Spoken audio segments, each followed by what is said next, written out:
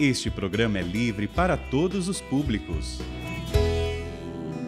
Pelo sinal da Santa Cruz, livrai-nos Deus, nosso Senhor, dos nossos inimigos. Em nome do Pai, do Filho e do Espírito Santo. Amém. Atos dos Apóstolos, capítulo 19, versículos do 11 ao 20. Atos 19, do 11 ao 20. Assim nos diz o Senhor por meio da Sua palavra. Deus realizava milagres extraordinários pelas mãos de Paulo, a tal ponto que pegavam lenços e aventais que tivessem tocado sua pele para aplicá-los sobre os doentes, e as doenças os deixavam e os espíritos maus se retiravam.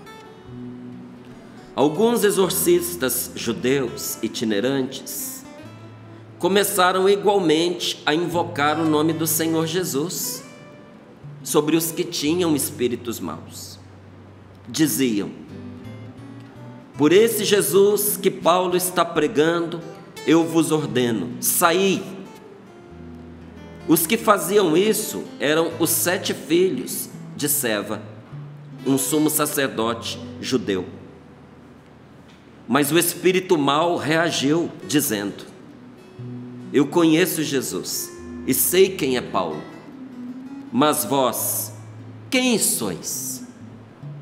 E o homem que tinha o espírito mau lançou-se sobre eles e os dominou a uns e outros com tanta violência que fugiram daquela casa sem roupa e cobertos de ferimentos. E toda a população de Éfeso, judeus e gregos, ficou sabendo do fato. O temor se apossou de todos. Louvava-se a grandeza do nome do Senhor Jesus. Muitos fiéis acorriam para acusar-se em voz alta de suas práticas mágicas. E um bom número dos que praticavam a magia amontoaram seus livros e os queimaram em praça pública. O valor desses livros foi calculado em 50 mil moedas de prata. Assim a palavra do Senhor crescia e se firmava com grande poder. Palavra do Senhor. Graças a Deus. Graças a Deus. Deus realizava milagres extraordinários, fora do comum, coisas que realmente impressionavam. Deus realizava milagres extraordinários pelas mãos de Paulo, a tal ponto que pegavam lenços e aventais que tivessem tocado a sua pele para aplicá-los sobre os doentes, e as doenças os deixavam, e os espíritos maus se retiravam. Olha que interessante, né? Às vezes há pessoas que perguntam assim: é, de onde que a igreja tira essa questão dos sacramentais? O sacramental é um sinal sagrado, abençoado pela igreja, por aqueles que o Senhor deu o ministério da benção. Porque o Senhor concedeu aos cristãos o ministério da benção. Não só ao, ao bispo, ao sacerdote, mas a todos os cristãos. Se você é batizado, se você foi batizado em nome do Pai, do Filho e do Espírito Santo, Deus lhe concedeu o serviço da bênção. Inclusive, nos deu essa responsabilidade de abençoarmos a todos, inclusive aos nossos inimigos. E tem gente que tem muitos inimigos porque, em vez de abençoá-los, os amaldiçoa. Inimigo amaldiçoado se multiplica. Inimigo abençoado deixa de ser inimigo. O Senhor nos deu o ministério, a graça de abençoar, para que o mal não, não encontre espaço entre nós. Os pais receberam de Deus a força para abençoar os filhos. Então nunca pense assim que a, a bênção que você dá ao seu filho é um, é um jeito particular, familiar de cumprimento. Ah, chegou, eu cumprimentei como bom dia, boa tarde, boa noite, dando a benção. Não, não. Cumprimento é oi, tudo bem, bom dia, como é que você está? Isso é cumprimento. Agora, a bênção é a bênção. Por isso, lá em casa, uma coisa não dispensa a outra. Se os meus filhos chegam, eu os abraço, recebo bom dia, como é que você está? Tudo bem, meu filho? Deus te abençoe. E eles já logo pedem: Bênção, Pai, Deus te abençoe. Uma vez eu fiquei assim impressionado, dentro da minha própria família. Uma pessoa veio para mim e disse assim: Eu pedindo a bênção aos meus pais. Que coisa mais fora de moda, coisa mais sem graça. Fala bom dia, fala boa tarde, boa noite. O negócio de ficar pedindo a bênção. Gente, a bênção proclamada com consciência, sabendo o que se está dizendo, ela repousa sobre a pessoa. E quando um pai abençoa o filho, abençoado está, com força de sacramental. Foi dado a nós, cristãos, abençoarmos as várias realidades nas quais nós entramos. Você pode abençoar o banho que você vai tomar. Você pode abençoar o café da manhã. Abençoar não é fazer oração, não, você pode abençoar. Abençoar quer dizer para aquele momento trazer uma palavra de Deus, fazer uma breve oração e fazer um sinal sagrado. Não é? Desde quando nós estendemos a mão sobre uma pessoa, ou fazemos o sinal da cruz sobre nós, ou naquele momento de oração. Então, tem o sinal sagrado, tem a oração e tem a palavra de Deus que foi lida, que foi proclamada, que foi lembrada. E essa bênção tem força litúrgica. Mas além disso, Deus deu de uma maneira especial, não é pela autoridade que traz ao bispo e aos sacerdotes por ele ordenados. Então, se nós temos aí esse exercício pelo nosso batismo, o padre e o bispo têm pelo ministério ordenado. Então, a igreja tem o poder de abençoar, inclusive objetos. E aqui esta palavra mostra para nós a força de um lenço, um lencinho, que foi posto em contato com uma pessoa cheia de Deus. Aí eu vou te mostrar aqui o que a palavra de Deus está nos mostrando, mostrando a mim, a diferença entre um homem cheio de Deus e homens que falam de Deus, mas não estão cheios dele. Porque olha, Deus realizava milagres extraordinários pelas mãos de Paulo, a tal ponto que as pessoas pegavam em lenços e aventais que tivessem tocado a sua pele por que lenços e aventais? Porque é a coisa mais comum, é igual o lencinho de papel que veio com o bilhetinho escrito. É o que a pessoa tem nas mãos. Porque numa região muito quente como é a Palestina e Israel, a pessoa tem que andar com lenço, gente, para toda hora ó, se enxugar. E um avental por quê? Porque a pessoa está trabalhando para proteger a roupa. O povo pegava o que tinha e colocava em contato com aquele homem de Deus, porque sabia que ele estava cheio de Deus. Diz aqui: lenços e aventais que tivessem tocado a sua pele para aplicá-los sobre os doentes, e as doenças os deixavam, e os espíritos maus, os demônios se retiravam, mesmo sem Paulo ter dito uma palavra. Agora, a segunda parte alguns exorcistas judeus itinerantes. Então, não eram cristãos. E eles andavam fazendo isso aqui que você está vendo. Começaram igualmente, porque viram que funcionava, começaram igualmente a invocar o nome do Senhor Jesus sobre os que tinham espíritos maus.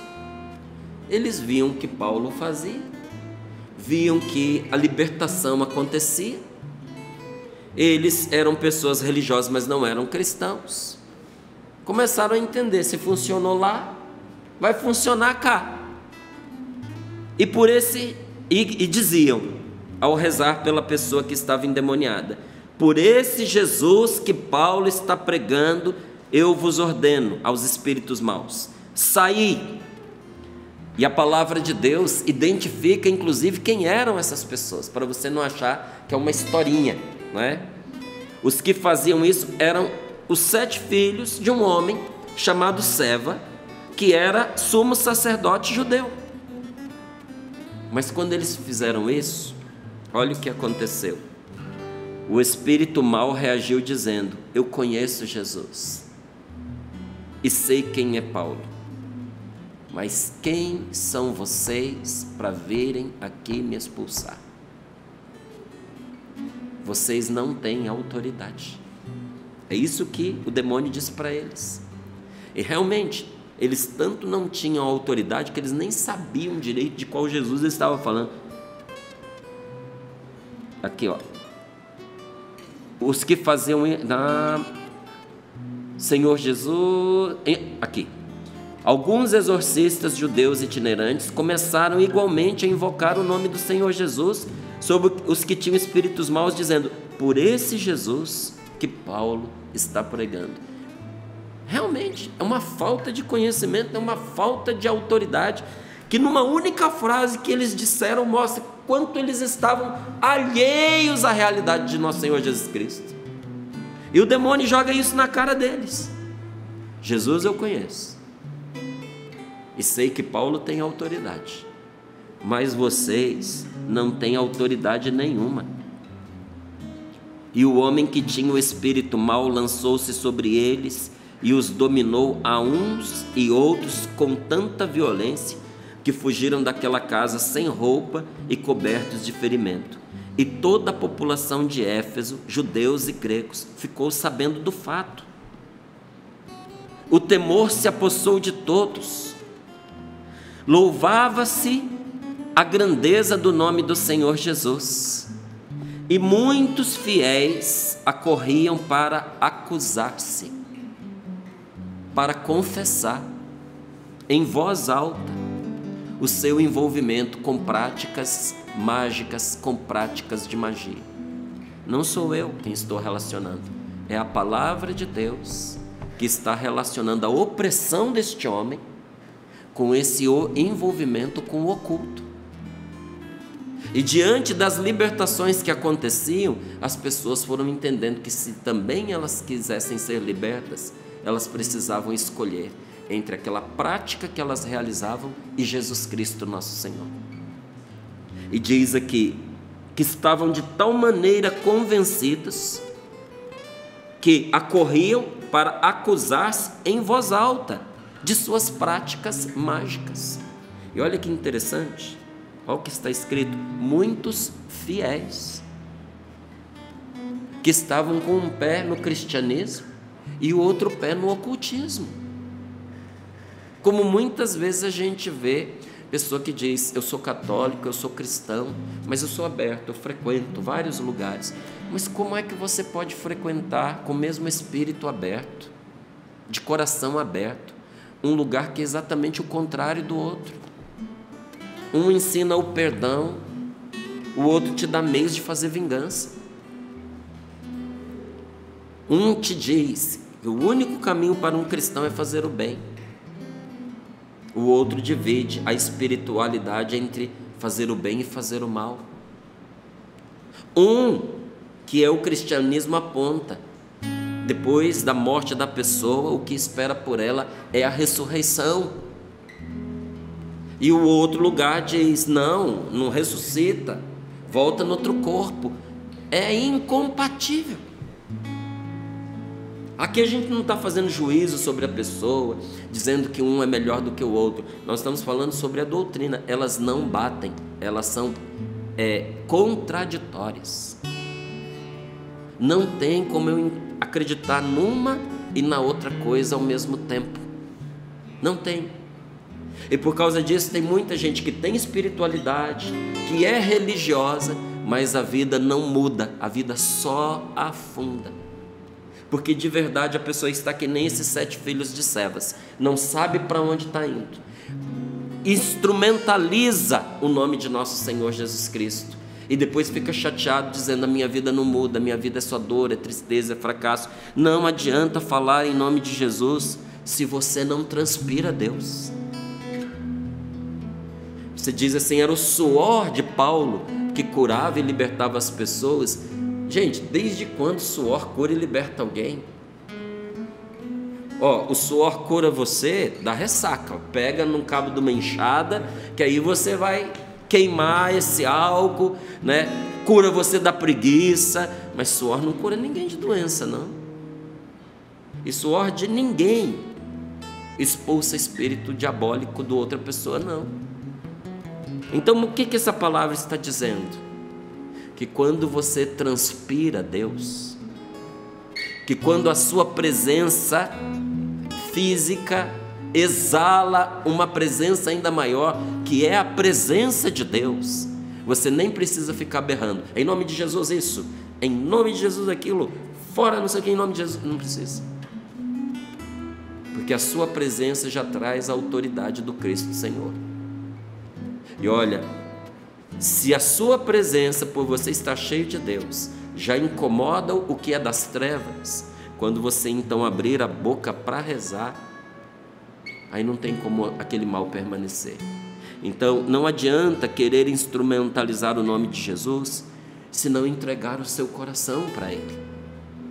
E essas pessoas entenderam isso de uma tal maneira que muitas que estavam ali envolvidas, gostando de nosso Senhor Jesus Cristo, perceberam: não dá para trilhar esses dois caminhos.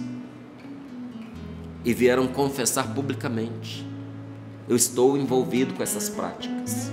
Eu estava envolvido com essas práticas, agora eu entendi que não dá para combinar as duas coisas. Eu peço perdão. E traziam ali os seus livros de artes mágicas. Não eram todos, Quer ver? Olha, como diz aqui: muitos fiéis, muitos, acorriam para se acusar em voz alta de suas práticas mágicas, e um bom número dos que praticavam a magia amontoaram seus livros e os queimaram em praça pública, como um gesto concreto de que não iriam voltar atrás. Que essa decisão ela era definitiva. Porque o caminho de libertação, gente, passa por uma porta que atrás de nós tem que ser fechada. Quando nosso Senhor, quando Deus tirou o povo do Egito, fez com que esse povo atravessasse o Mar Vermelho, o mar, o mar se abriu para que eles passassem de uma vida de escravidão, de servidão ao inimigo, para uma vida de liberdade em Deus. Mas assim que eles cruzaram aquele obstáculo, ultrapassaram da morte para a vida, da escravidão para a liberdade, imediatamente Deus fechou o mar atrás deles, para que não mais pudessem voltar aquilo que de novo os escravizaria. É preciso fazer como esses homens e essas mulheres que entenderam isso fizeram. Não é simplesmente queimar fisicamente, materialmente, mas queimar dentro do nosso coração destruir de uma vez por todas dentro de nós. Escolher de uma maneira radical, não aderir e não cultivar qualquer meio que possa nos levar para longe de Deus e nos devolva de novo a uma escravidão espiritual. Se o Senhor te libertou, aquela vida velha acabou. Aquilo acabou. A gente precisa fechar as portas. Conta-se que quando houve a conquista espanhola, que, que teve o seu aspecto negativo, viu? Mas a ênfase aqui é na coragem de uma pessoa. Um espanhol que veio para a colonização da América, sobretudo ali na região do México. Ele veio com várias esquadras, muitos navios. E quando eles chegaram lá, encontraram um povo duro, lutador, guerreiro, em grande número. E os espanhóis que chegaram naqueles navios, percebendo a batalha que eles iam ter que enfrentar, tentaram convencer o Hernán Cortés, que era o, o comandante deles, a voltar para a Espanha. Fizeram de tudo. E o homem estava obstinado a continuar. Não só por uma questão de riquezas, mas por também levar a fé. E como eles não tinham conseguido êxito em convencer aquele homem a voltar para a Espanha, eles começaram a confabular de madrugada que eles iam sair na surdina, ia deixar ele dormindo, iam entrar nos navios, já que ele queria conquistar essa terra, colonizar, ele tinha tantos projetos de trazer a cultura, a arte, a sabedoria do seu país para essas terras, que ele ficasse. Só que era um homem muito esperto, astuto, sábio, e percebeu aquela movimentação, entendeu o que ia acontecer, levantou mais cedo do que, do que aqueles que iam ó, zarpar fora, meteu fogo em tudo quanto era navio, queimou tudo. Volta para a Espanha agora. Nós temos que aprender a eliminar os meios que podem nos levar de novo a uma vida de erro e de escravidão. O que, que é esse eliminar? O que, que é esse queimar os navios? É como no testemunho que nós escutamos. Se a pessoa não tem controle sobre o álcool, então não tome álcool nenhum, como ele disse. É difícil, eu vou para as festas, vejo as pessoas bebendo. E aqueles que ele vê bebendo conseguem beber um pouquinho sem é, afundar na bebedeira e ficar embriagado e afundar no vício, mas não é o caso dele. Para ele que percebeu que estava já viciado, que tinha se tornado um alcoólatra, a decisão era radical: queimar o navio é não vou pôr uma colher de bebida alcoólica na minha boca. Queimar o navio é você eliminar do seu celular, da sua lista de contatos, todos aqueles telefones que podem te arrastar de novo uma vida promíscua, uma vida de adultério, que pode de novo colocar em risco de destruição a sua família. É você parar com aquela prática que pode de repente uma hora dessas colocar você na cadeia é você parar com o uso de um entorpecente, achando que você tem o controle e que você vai e volta quantas vezes você quiser, até que você descubra que você não tem mais condições de voltar, que você cruzou uma linha que sem a ajuda de Deus você não vai conseguir regressar. Meu, meu irmão, permita que Jesus, que te ama, liberte você. Porque até das garras do mal, o Senhor tem poder para nos libertar. E a verdadeira luta, aliás, não só a verdadeira, em qualquer luta, em qualquer uma, a verdadeira coragem, sabe? A verdadeira intrepidez está naquelas pessoas que sabem que Deus é seu aliado. Sabe quem nunca desiste? Sabe quem se levanta não importa quantas vezes caia? Não é a pessoa mais corajosa, a pessoa mais forte, a pessoa mais culta, a pessoa mais preparada.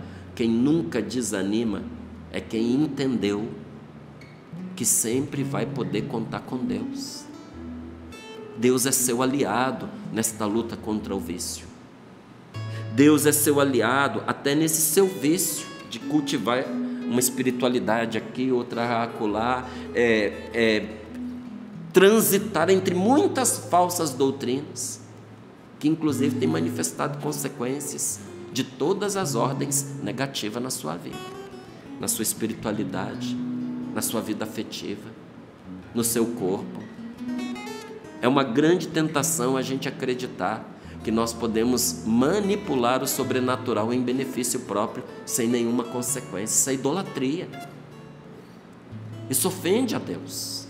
Você sabe por que, que ofende a Deus? Porque coloca a nossa alma em estado de morte.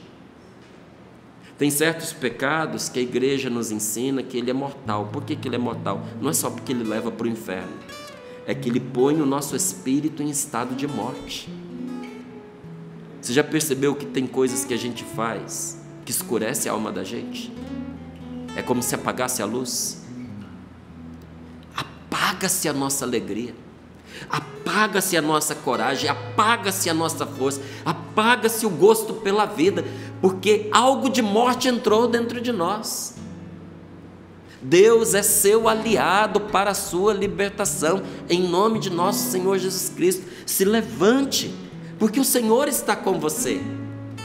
Não desista da sua vida, não desista de você mesmo, não desista de ter um futuro, não desista de acreditar nas pessoas que você ama. Aconteça o que acontecer, não perca a sua fé em Deus. Agora, quando a gente faz como esses homens, aonde alguém diz: "Ah, Deus está aqui", a pessoa está lá. A fé dela vai se enfraquecendo, vai se esvaindo. Aí nós ficamos cheios de conhecimento, achando assim que tudo pode nos levar a Deus. Mas na verdade a gente fica igualzinho esses filhos de servas. Ah, eu vivo em nome de Jesus que eu ouvi alguém falar um dia. Jesus precisa ser seu conhecido íntimo e pessoal. Nós precisamos ter um encontro pessoal com o nosso Senhor Jesus Cristo. Porque é do nosso relacionamento com Ele que a nossa fé brota se fortalece, cresce e se fortalece. E, e, e aconteça o que acontecer, que as coisas andem conforme a sua vontade, ou até que te contrariem, não perca a sua fé, porque nada de mal lhe acontecerá. E nada de mal poderá lhe acontecer como um filho de Deus. Márcio, eu lendo aqui essa passagem, até tremo, porque eu tenho medo dessas coisas. Paulo não tinha medo dessas coisas. Porque quando nós estamos cheios da presença de Deus, é o mal quem tem medo de nós. Quando nós estamos é, vazios de Deus, nós viramos um brinquedo nas mãos do inimigo. Faz o que quer da nossa vida, maltrata a gente. Sabe, tem pessoas que quando nós vamos rezar com ela é de partir o coração, que estão num estado miserável, vazias de Deus. O próprio Jesus diz: o inimigo encontra a casa vazia arrumada, ele entra e faz uma farra. Mas cheios de Deus, transpirando Deus, é o mal que se retira da nossa presença. Então nunca tenha medo, porque nessa nossa vida tudo é incerto. Nossa vida, nessa nossa vida tudo é arriscado. Nessa nossa vida tudo é passageiro. Só o que você faz em comunhão com Deus é que é seguro. Você tem medo do futuro, você tem medo das coisas não acontecerem como você gostaria, você acha que a gente está vivendo um momento de grande instabilidade mundial. Acho que você está certo. Como é que você se comporta diante disso? Está estremecido? Está inseguro? Gente, esse mundo é inseguro. Para nós, esse mundo para nós é perigoso. Todo dia a gente pode morrer. Nesse dia de hoje, você está correndo um sério risco de morrer, você está vivo. Qualquer um de nós, inclusive os que nós amamos. Isso até é bom para a gente ver que nesta terra a gente não tem segurança nenhuma. O que de verdade é seguro para nós? Só o que você faz em comunhão com Deus é seguro e não pode ser destruído por nenhuma força. Por isso, o maior empenho do diabo é nos desviar da comunhão com Deus. E para isso, ele tem muitas propostas. A verdade é uma só. As mentiras são muitas, gente. O Salvador é um só, é Jesus Cristo, nosso Deus. Agora, cópia você encontra para todo enquanto é lugar. Então, qual é o empenho do inimigo? É distrair você de Deus, é desviar você da comunhão com Deus, é nos incentivar a fazer pecado, a tomar o bem pelo mal e o mal pelo bem. E para nos confundir, ele usa sempre os mesmos argumentos. São meias verdades, não é? Porque toda boa mentira, ela precisa ter um quesinho de verdade. Eu acreditei, Márcio, porque a pessoa falou a verdade quase em tudo, porque era uma boa mentira. Uma boa mentira, ela vem disfarçada de verdade. E o diabo sabe como nos enganar. É sempre com uma boa mentira. Não é? Como a gente falou aqui da questão do álcool, como é que ele seduz de volta ao alcoolismo uma pessoa? Com meias verdades. Nossa, como você melhorou. Nossa, como você se tornou senhor de si. Poxa, sua vontade agora está forte, né? Tenho certeza que se você beber um pouquinho, não vai ser como antes. Você vai se controlar. De tudo que eu disse, quase tudo era verdade para uma pessoa que sofre pelo alcoolismo, menos essa parte. Quando você tomar um pouquinho, você vai se controlar. Então é através de meias verdades. Porque primeiro o demônio nos desculpa dos nossos erros. E assim que nós nos sentimos desculpados por eles e vamos entrando pelo caminho que ele vai nos indicando, ele se vira contra nós. A mesma voz que antes nos incentivava a fazer o errado é que volta para nos bater depois e nos acusa até nos reduzir a nada, até nos levar ao desânimo. Não se deixe desanimar nesse dia de hoje, porque você tem Jesus com você. Seja fiel à sua fé.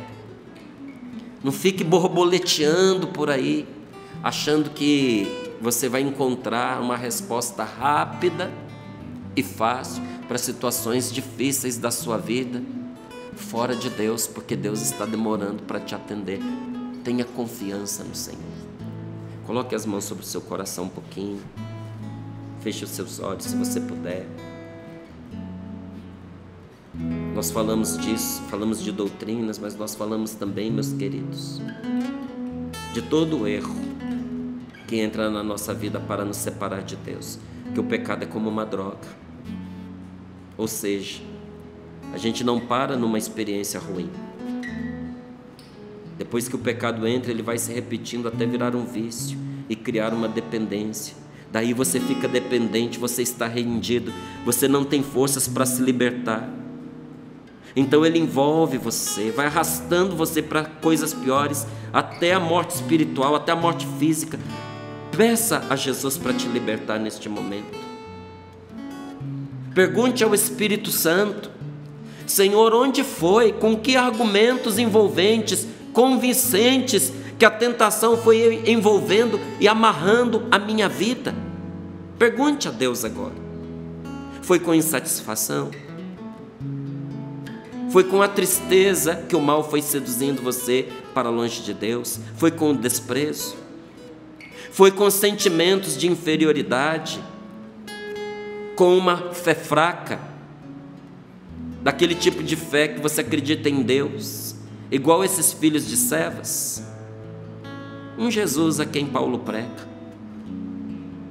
Uma fé daquele tipo, será que Deus existe mesmo? Senhor, nós te pedimos que nos dê libertação nesta manhã. O Senhor sabe como muitos de nós fomos presos pela ganância. Nada basta. Aquele desespero diante da vida passando, uma gana de possuir as coisas. Senhor, tu conheces tantos que foram presos pela dependência química, pelo cigarro, pelo álcool, pelas drogas. Senhor, quantos filhos e filhas amados teus, como diz aqui esta palavra, fiéis, cristãos, mas que estavam envolvidos com coisas destrutivas, até mesmo prazeres destrutivos, viciados em jogos, em abusos sexuais. Senhor, nós te pedimos, traz-nos libertação nesta manhã, neste dia de adoração, Senhor Jesus queremos servir somente a Ti e para isso nós te pedimos, Senhor, liberta-nos de toda a opressão e de todo o domínio do mal sobre nós. Senhor, liberta-nos de tudo aquilo que o, demônio usou para tornar a nossa vontade fraca e nos manter afastados do plano de Deus que poderia nos fazer feliz. Pede ao Espírito Santo para ver sobre você agora porque com o Espírito Santo, do mesmo modo que Paulo realizava obras maravilhosas no nome do Senhor, enfrentava a tentação e a vencia, você vencerá. Com o Espírito Santo, do mesmo modo que Jesus o fez, eu e você precisamos enfrentar e vencer a tentação. Diga: Vem Espírito Santo, em nome de Jesus. Nenhuma libertação acontece sem luta, meu irmão. Minha querida, você vai se libertar, mas você precisa primeiro se decidir e você precisa lutar. Meu irmão, nenhuma libertação acontece sem luta. Você precisa reagir, você precisa lutar. Para sair do Egito, o povo teve que travar uma batalha, enfrentar o deserto, lugar de perigo, de solidão, de hostilidade. E quando chegaram na terra prometida, para ajudar, ela estava ocupada. Tiveram que lutar. Nossa vida é uma luta. Jesus teve que enfrentar a tentação para que pudesse fazer a vontade de Deus. Você também vai precisar enfrentar para fazer a vontade de Deus. Ou você conquista a terra que Deus lhe prometeu, ou você vai perecer no deserto. Ou eu conquisto as promessas de Deus para minha vida, ou eu vou ver a minha vida passar eu estando à míngua, você precisa lutar pela sua libertação. E diga: Senhor Jesus, eu me decido a lutar. Senhor Jesus, eu me decido a lutar. Você pode colocar a mão no seu coração enquanto Márcio rezava. Me veio a lembrança do Padre Rufus, sempre pedia que a gente cantasse essa música. Coloca a mão no lugar do seu corpo que está enfermo também, se não for no seu corpo, se for uma dor emocional, se for uma dor da perda de alguém, de um ente querido, invoque o nome de Jesus agora. Invoque. Jesus.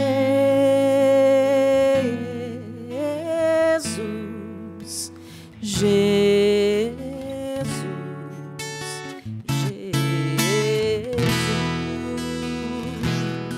Cante.